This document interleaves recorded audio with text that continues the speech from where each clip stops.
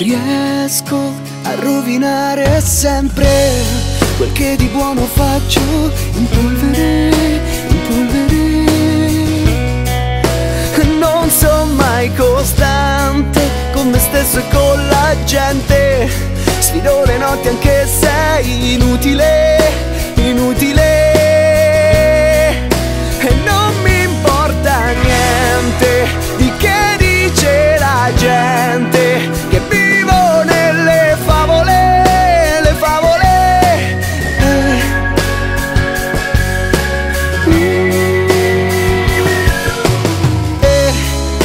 serve solo un'auto e sogni e carta e penna con cui scrivere, scrivere.